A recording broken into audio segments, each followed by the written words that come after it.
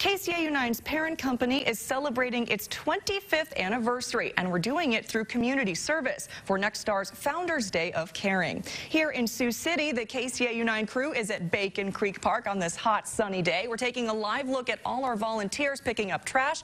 They'll be walking the park, dog park, and trails until 2 o'clock this afternoon because keeping Siouxland clean makes us all Siouxland proud.